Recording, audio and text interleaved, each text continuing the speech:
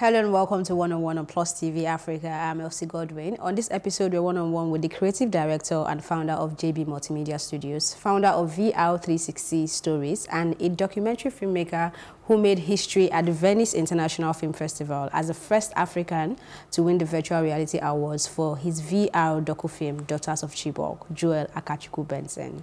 Thank you for being here. Okay, so it's easy for anyone to aspire to be you right now, right? Like, but there's a struggle and there's a story behind this success that everyone is seeing now. Mm. From I, I saw you talking about how the split of your parents affected you and how you were once an Okada rider and now you are winning. you are well, at least you rode it, right? So how would you describe your journey so far? Um, I mean, some people would say inspiring. I don't know. I've just lived my life one day at a time, but with my eyes on the end game. Mm -hmm. You know, so whatever it is that I have to do now to get to the next level, I'll do it. So if it was, you know, um, going to someone's house to go and help him clean up his house so that he could show me how to edit, um, if he was chasing up people on the phone so that they could tell me, give me some information that I needed to get, you know, if it was you know, sleeping in church because there was nowhere to else to stay, but I had to well lay my head somewhere. Mm -hmm. You know, so I mean, all of those things I did. I didn't. I never saw them as the as my destination. You know, it's always like okay, this is just a bus stop. You know, there's somewhere else that we're going to, mm -hmm. and and yeah, just kept my eyes on the end game, mm. and uh, even here right now, there's still an end game. So what's this end game right now? I don't know. I guess the end game because the end game always shifts, it keeps you constantly motivated. Mm. You know, so um, the end game is to be better than where I am now. Right? And, and that's, that's, that's, you're never going to get there because mm. you'll always strive to be better. Okay. You know, regardless of whatever you achieve. If you win one award for your film, I guess you want to win another one, right? Mm -hmm. um, you know, if you make one great movie, I guess you want to make another one right? So you don't rest on your oars. Just keep, keep pushing yourself. Stay hungry. Okay, so what was it like when you won that award? How did you feel climbing that podium? uh, it was one of those uh, surreal experiences. Because um, I remember that when, when we sent in the film for the festival, I honestly wasn't expecting to hear back from them. But I heard back from them in a very short time. I think it was like maybe two weeks or something like that. And I remember that I could I didn't want to open the email. I just kept staring. I was like, ah, what have these guys told me now? So someone else said to me, eh, they've rejected you now. That's why it came so fast. Mm. You know, I'm like, well, I mean, I'll just open it. So I clicked on it, and then you know, just they were just increasing the suspense for me. Then I say, click on the attachment. Okay. Like, attachment. It's like I clicked on it, and it was a letter. You know, say, oh, congratulations. You know, your film has been selected, you know, to play in Venice mm. and hmm. also be in competition. And that was like, wow. For us, it was that in itself was a big deal because it was the first time, you know, that you know an African VR film would play in Venice. So we're okay with that. Went to Venice, have fun. It was fantastic. I was even preparing to start coming back to Nigeria. And then, you know, they said to me, oh no, sorry, you know, we needed to stay around for a couple more days. Mm -hmm. And you know, you'll be picking up an award. And that was, so we knew we were going to win the award a day before the award ceremony, you know, we were told. But it was, I remember when, when they told me, I was, I was in tears. I was, you know, I didn't expect it. Hmm. Yeah. All right, so documentary is a very interesting art. I mm. don't think we have too many Nigerians that would gladly come out and say, I'm a documentary filmmaker, but that's how you like to describe yourself. Mm. So what drove you to choosing documentary? Well, I mean, I've, I've always been drawn to real stories. Um, I think that we're not telling enough of those, especially in these parts. Um, I'm drawn to real issues, you know, real human beings, real stories. You know, um, I've always been drawn to. So I mean, I, I, I, I guess that's what drew me. You know, so it's easy for me to see a film and say, okay, yeah, it was the script was well written and all of that, but a documentary, it's it is what it is, mm -hmm. you know. So if you say someone like Yana in my film that we took from Chibok to New York, Mm-hmm. I mean, how do you make that up? How do you script that? You know, and so that for me is so watching that makes me believe that it's possible for anyone. You know, anything is possible just because I know that hers is a real story. And, um, and yeah, real stories have always uh, intrigued and attracted me, like a moth to a flame. Okay, what would you say is the challenge or the challenges of um, documentary filmmakers in Nigeria? Hmm. Well, I mean, documentary filmmaking is not as hip as fictional films, mm-hmm. and so it doesn't get as much support, right?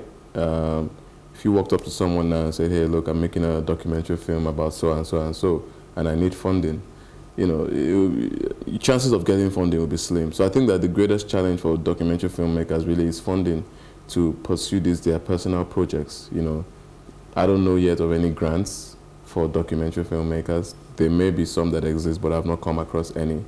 You know, so I, I think funding is a major challenge. The stories are there, mm. without any doubt, but how do you get to tell the stories if you don't have the funds? So okay. for people like us, you know, we self-fund our projects all the way because we believe in it.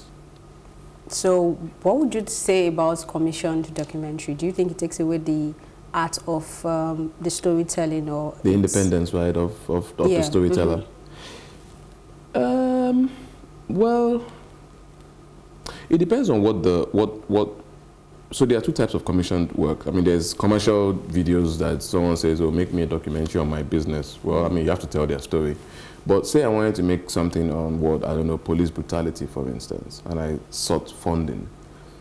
I don't think the best place for me to go to would be to the Nigerian police force to fund me to make a film on police brutality because it will be tainted. Okay. So I would have to go to an NGO that probably believes in, you know, hum human rights, equality, and all that kind of stuff. But I also have to set the boundaries from the beginning, mm -hmm. right? That look, I would need my creative independence to tell the story the way I would like to tell it, you know. So um, it's it's all about negotiation. You have to learn how to negotiate and navigate those landmines, so mm -hmm. to mm-hmm. speak, so that your artistic integrity stays intact. You know, otherwise you might as well just be making a commercial. Okay, so what do you think every young filmmaker should be concerned about, especially in this digital age and um, things evolving so fast? What should they focus on and be concerned about? Focus on the story and tell it honestly. Tell it from your heart. Okay. That's, that's, that's the most important thing. It doesn't matter what kind of equipment you have, you know, what kind of gear you have. Just focus on the story and tell it honestly. I mean, the film that we made that won the award, you know, was side by side with studio budget films, right? And, you know, we who use better equipment, better, you know, I mean, a more robust uh, structure and system supporting them. Mm -hmm. But, you know, I mean, we still came out, you know, okay at the end. Mm -hmm. So I would say just follow the story and tell it honestly. That's that I think is the most important thing. Every other thing is secondary. Okay, so we'd like to find out how you got into virtual reality. But before that, let's go on a very quick break, and when we come back, we'll carry on this conversation. Welcome back. This is 101 on one on Plus TV Africa, and we still have Joel Benson in here with us. So before we went on that quick break, I told you we wanted to know how you got into virtual reality, because I know you've been a filmmaker for a very long time. Mm -hmm. So how did you get into VR. Into VR, right? Yeah, so um, I'm making this film in Borno State, and a friend of mine, Brahima Mohammed, says to me, hey, look, you know, can, can we make something in virtual reality? I'm like, what's that? He said, there's this camera that if you use it and shoot, you know, you now bring people into this place as if they are here. Like, dude, man, this my camera is good enough. Let me just, you know, I didn't take what he was saying very seriously. Mm -hmm. Fast forward a year later, um, uh, a lady who I've done a lot of work for, Damilola Gumbi calls me up and says, I want to make a 360 video in Kano. And I said, but ma, I don't do 360 videos. What is that? They explained to me. I said, I don't do that, ma. She said, go and figure out how to do it mm. and bring me my results. She's not someone that you can easily say no to. So I started doing my research. Cut a long story short, I had to fly out to go buy the camera and learn how to use it. Mm -hmm. And I remember the first time I wore a VR headset was in, in uh, VR school in Chicago. And the moment I wore that headset, I remember what that guy told me, what Brahima told me, you know, the year before.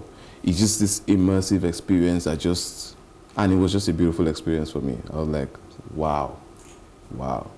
So bought the equipment, did the training, came back to Nigeria, and that was it. My first project was uh, in Bakassi, Mm-hmm. which was my first VR film, which is, I mean, arguably the first VR film out of Nigeria, really, you know. And from then on, it's just been, you know, no looking back. Okay, so from what you said that you had to invest in yourself Oh to yes, be able to make this happen. yes. Can how much would you say, roughly speaking, that you invested? In the to- beginning, yes, it cost me about five m. about five million. Yeah.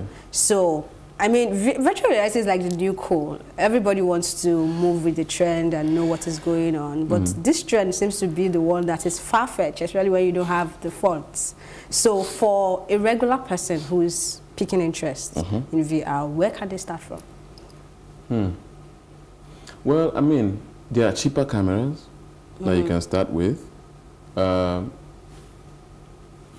Google is your best friend when it comes to training. Okay. Go online and, and read up some stuff. And So personally, if I can afford to go to a physical school, Mhm. I don't like to do stuff online. Okay. I'd rather go to the school, pay the money, and learn it so I can ask all the questions, no matter how silly they are, Mhm. right? Um, but yeah, you can start online. You can read up on it online. You can buy a cheap camera. There are cameras are like $500, $600 that you can start with. And just get your teeth into the game and, and build from there. Remember what I said in the beginning? It's really, at the heart of it, it, is really about the story. If you make a great story, right, that, that wins an award or gets you recognized, then people will come and meet you and say, hey man, look, we want to make another film. Can you do it for us? Or people will say, we would like to invest in you, that kind of stuff. I mean, I'm hearing all of that now, Okay. you know. Um, that, that's, that's, that would be my, my, my 10 cents worth. Okay, so why did you choose to tell the story of the daughter of Chibok using this medium? Well, Chibok is a place, or the Chibok story is a story I've always been curious about. Um, when the story broke in 2014, you need to remember that there were so many versions of that story. The government was saying one thing, uh, international press was saying one thing, local press was saying another thing. So we- we didn't quite know. Even till now, there's still some shroud of mystery around what really happened to these girls. Mm-hmm. How did 276 girls just get picked up in the middle of the night in a community? And, you know, so I made up my mind that I would go to Chibok. Anytime I have the opportunity, I would like to go and find out for myself.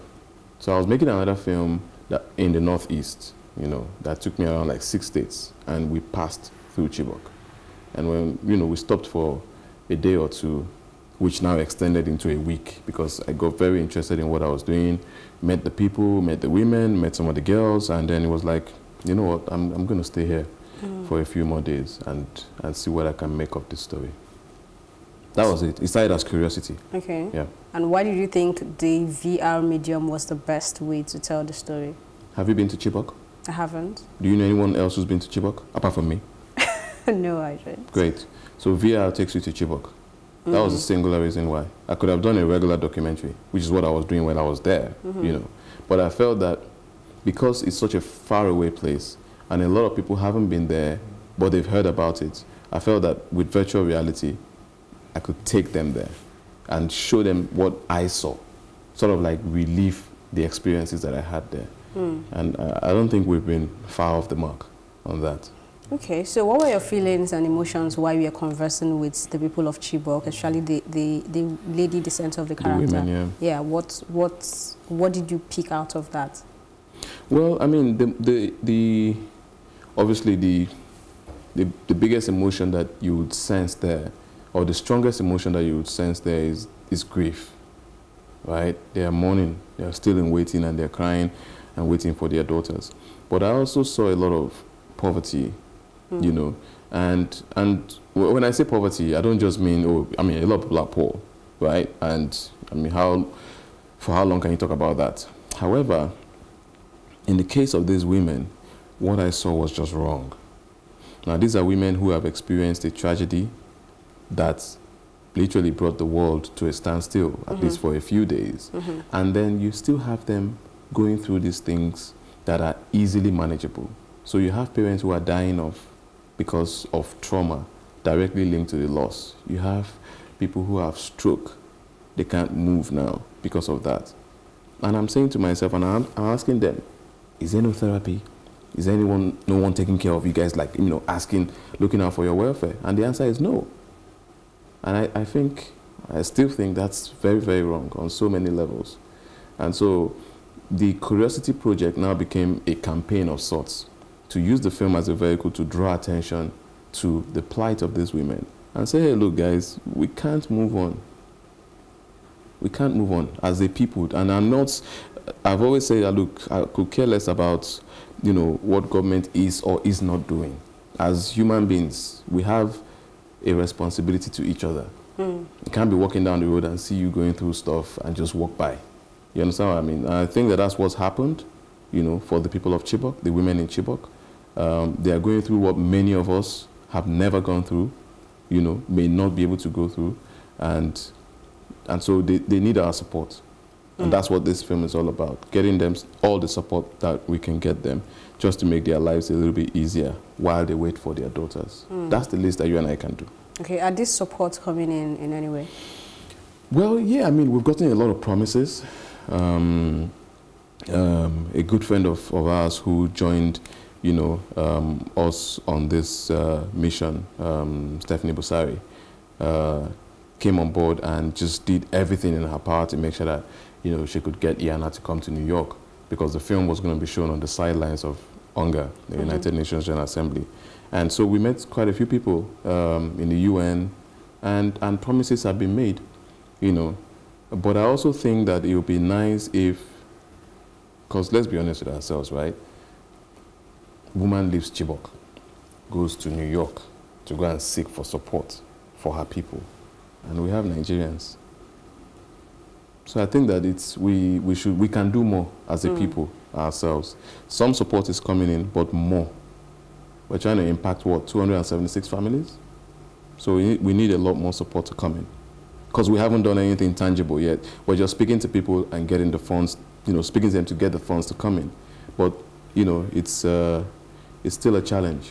And we hope that, uh, you know, come end of the year, we'll mm -hmm. be mm-hmm. able to say, hey, look, you know, Yana and all the women and all the men, this is what the world, Nigerians have been able to raise for you. Now you can take it, you know, get something for your farm, get some therapy, get some help, and just know that the world hasn't forgotten you. All right. So when you got there, I'm still curious about this story, mm -hmm. right? When you got there, was there something you saw that completely blew your mind? Something you did not expect to see at all? So I told Yana, take me to your farm. Okay. Because she's a farmer, and all the women in Chibok are farmers. And then she takes me to this place that looks like a desert. And I said, no, ma, I want you to take me to your farm. This is not like we're shooting film or anything. Mm -hmm. Take me to your actual farm. and she laughs and says, my son, this is my farm. And she walks a few feet away and scratches the ground and brings out groundnuts and shows me. I'm like, this is a farm. I think that was, that was something that really, really stayed with me. It didn't look anything like, it didn't look like a place that anything can grow out, anything can come out from that ground. It was barren, it was dry, it was crusty, it was, you know, all kinds of weird. But that's her farm, you know. And I said, but why is it like this? He said, well, we don't have fertilizer. We don't have money to buy fertilizer. So I was like, okay, you know, we'll see what we can do about that, mm. you know. So I think that's one thing that really, really stayed with me. It was one scene that really stayed with me um, in, in Chibok. All right, let's go for another quick break. And when we come back, we'll definitely carry on this conversation.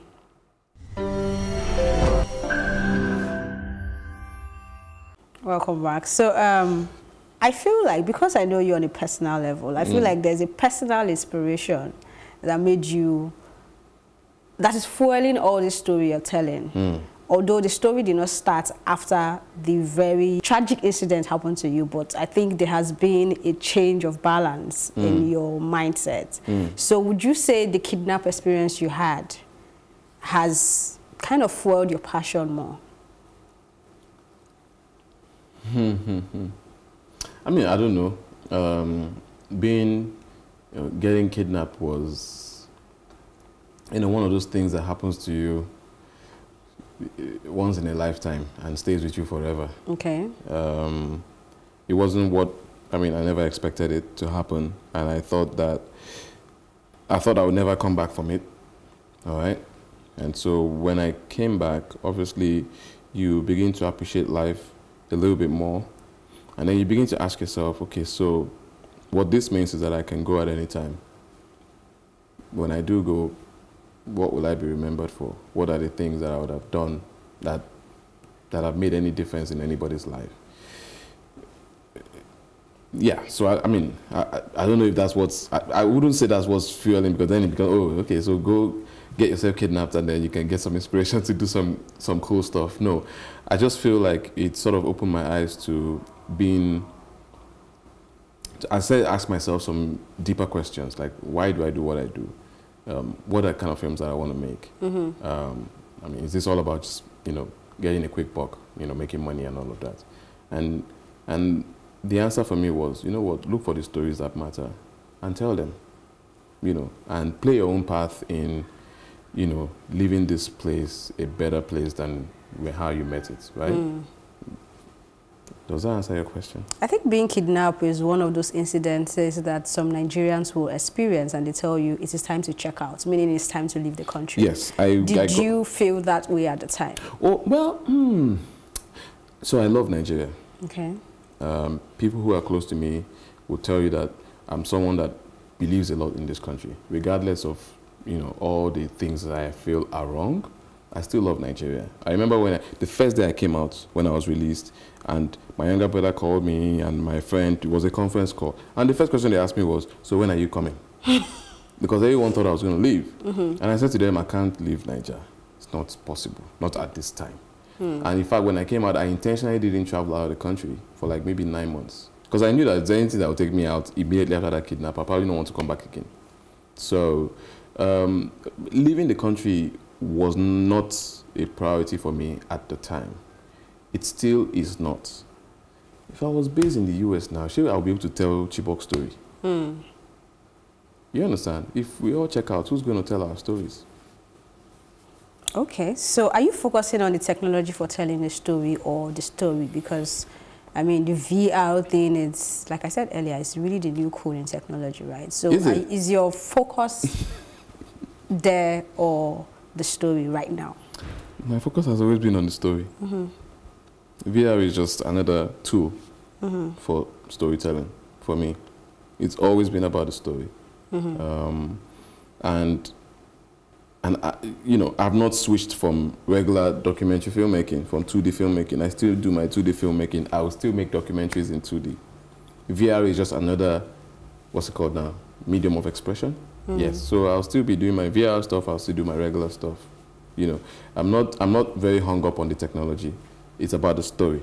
Always about the story for Okay. me. Yeah. So back to um, the lady in the story. You recently came back from an advocacy tour to Mm. the United Nations, I think, Mhm. and um, it was to mark the 2000th day of the Chibok girls going missing. Mhm.